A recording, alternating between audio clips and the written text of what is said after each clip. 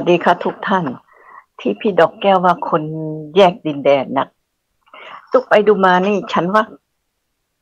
ไอกษัตริย์ของพวกคุณนี่แหละ แยกดินแดน เป็นกษัตริย์ของประเทศไทยทำไมมาอยู่เยอรมันฮะทำไมมาอยู่อีกประเทศหนึ่งอะไอ้นี่ตัวจริงเนี่ยแหละ แยกดินแดน ไอ้ตัวนี้แหละ คุณมองไม่เห็นเหรอ ไอ้พวกแยกดินแดนนะเมื่อก่อนก็ สมัยเก่าสมัยก่อน ก็มีคุณอเนกสารฟานก็พูดว่า เอา้า ไอ้เนื้ออีสานให้ทักษิณไอ้ไอ้บริหารภาคกลางภาคใต้ให้ประชาธิปัตย์บริหารแล้วแถมพระเจ้าอยู่หัวพระราชินีให้พวกมึงด้วย เอา้า ตอนนี้จะมาแยกดินแดนอีกเหรอ มันเป็นไปไม่ได้คุณ ประเทศไทยก็คือประเทศไทยมันก็อยู่อย่างนี้แหละ กัดกันไปกัดกันมาอะทีนี้จะมาเล่าถึง ถึงว่าทำไมเจ้าถึงสร้างตำหนักไว้ต่างจังหวัด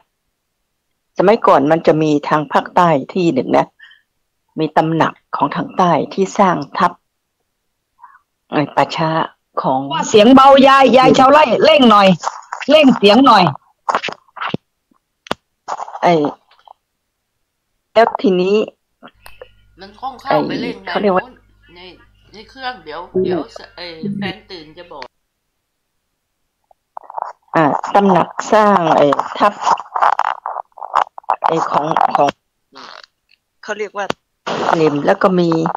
มีคืออยู่ได้ยากอะ่ะ เห็นเขาบอกว่าผีหลอกอะไรพวกนี้แล้วก็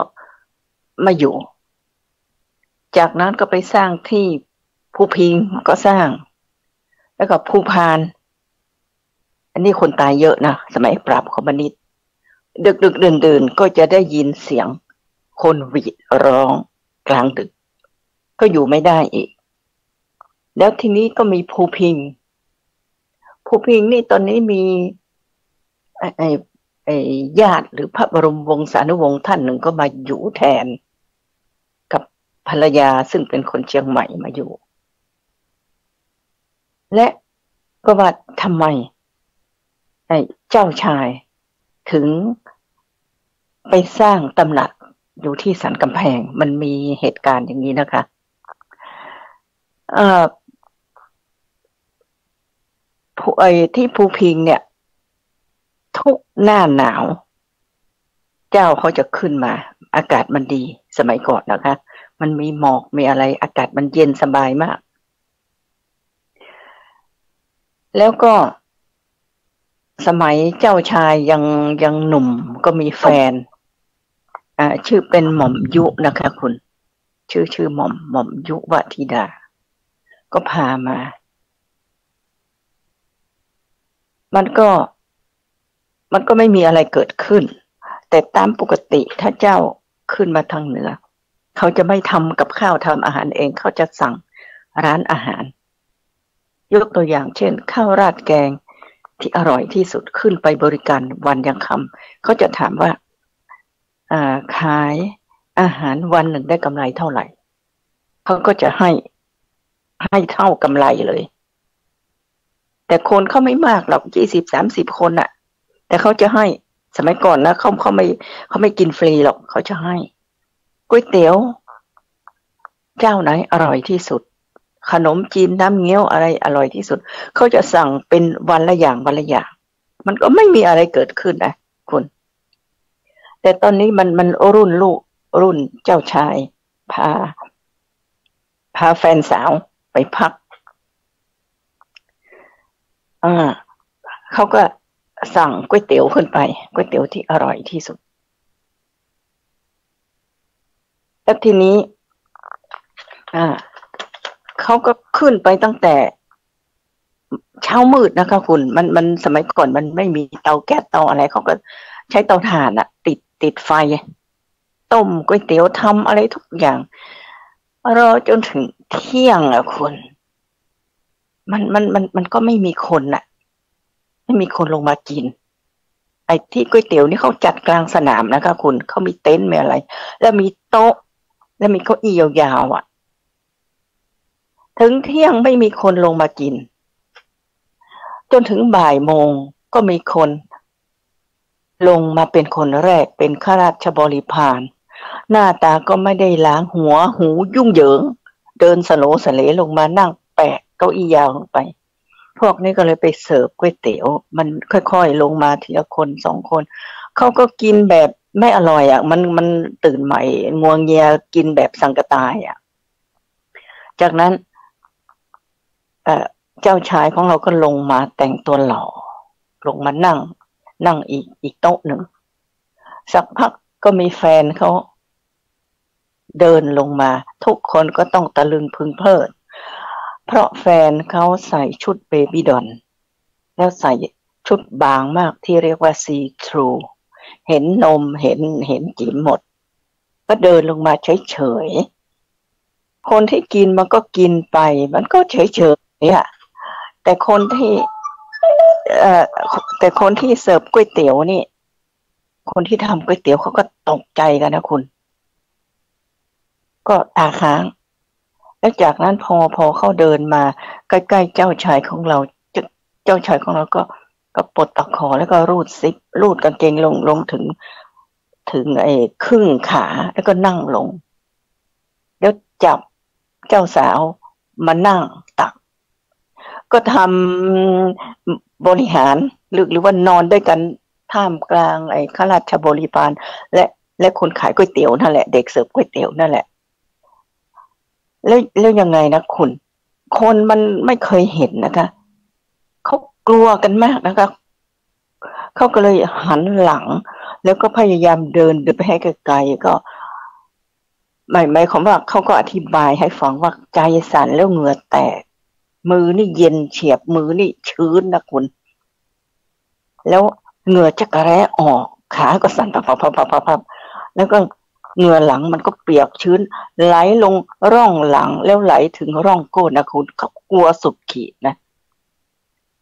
แล้วพวกข้าราชบริพารทำยังไง มันก็กินก๋วยเตี๋ยวต่อ มันก็คุยกันต่อเหมือนไม่มีอะไรเกิดขึ้น แล้วก็มีมือดีนะคะ โทรไปบอกในหลวง กี่ยวกับวีรกรรมของเจ้าชายของเรา ในหลวงโมโหสุดขีดนะคะ มันเพราะมันไปทำบัตรสีบัตรเถลิง ก็เลยบอกว่าห้ามขึ้นไปอย่างเด็ดขาด เจ้าชายของเราก็ไม่แคร์นะคะ ตังค์ไม่เยอะนะคะ ก็ไปสร้างตำหนักที่สันกำแพง ถนนไปบ้านทักษิณนั่นแหละค่ะคุณ คุณไปดู สมัยก่อนมันเป็นทุ่งนาเขา เขาสร้างถนนเข้าไปถึงตำหนักเขาเลยนะ แล้วเขามีไอ้กำแพงล้อม สังเกตง่ายๆ มันจะมีเสาไฟฟ้าสูงมาก หลายๆเสา เออเสาไม่ใช่เสาไฟฟ้าเสาวิทยุสูงมาก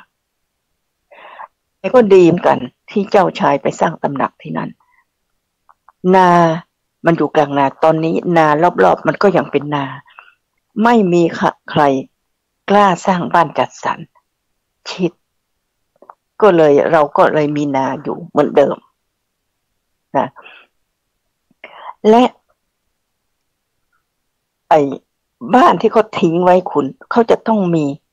ยาม มีคนทำความสะอาด มีแม่ครัว ทุกอย่างพร้อม สมมติว่าเจ้าชายของเรามาปุ๊บ ก็จะได้นอนทันทีได้กินทันที คุณว่างบประมาณใช้เยอะมากใช่ไหม สำหรับการนุ่งน้อยห่มน้อยที่เยอรมันอะ มันเป็นเรื่องจิบจ่อยนะคะไอ้นี่ตามความคิดเห็นของฉัน มันต้องเจอของจริง ๆ จะจะแล้วท่านจะรู้สึกแบบร้านอาหารร้านขายก๋วยเตี๋ยวเจอนั่นแหละถามทำไมว่าเจ้าไม่อายเหรอเขาไม่อายหรอกค่ะ เพราะถือว่าคนไทยคือใต้ฝ่าละอองธุลีพระบาท คือเป็นคนที่อยู่ใต้ ฟูนใต้ตีนของเจ้าอีกทีหนึ่งนะคะ คุณไม่มีความหมายอะไรเลย และข้าราชบริพารคนรับใช้ที่ฟังแล้วก็เจ็บปวดแทนประชาชนนะ และข้าราชบริพารคนรับใช้ที่ตามมา เขาถือว่าเป็นแค่สัตว์เขาเท่านั้นเองนะคะ คุณคุณต้องเข้าใจนะคะ เพราะทุกๆประเทศที่เคยมีเจ้าแล้วล่มสลายไปแล้ว เขาคิดแบบนั้นจริงๆว่าพวกทหารในวังคนใช้ในวังตำรวจวังก็คือสัตว์ เหมือนหมาเหมือนแมวนั่นแหละ เจ้าจะเสพกามต่อหน้าสัตว์พวกนี้ โดยไม่เขินอายนะคะไอ้นี่คุณต้องเข้าใจ แล้วเขาทำแบบนี้มันนานแล้ว เพียงแต่ชาวบ้านเราไม่เห็นใช่ไหมมันมันมันมีรั้ว รอบขอบชิด แต่ยุคนี้มันเป็นยุคอินเทอร์เน็ต คุณเห็นไหมเจ้าจึงถ่ายรูปโป๊รูปร่วมเพศ แล้วแจกแจกยังไม่เขินอายชาวประชา คนไทยได้ได้เห็นทั่ว แล้วเราก็รับไม่ได้ แล้วถามว่า เจ้าเขาหวั่นไหวไหม ไม่หรอกมีมีมีมีใครมีใครมั่งจะมา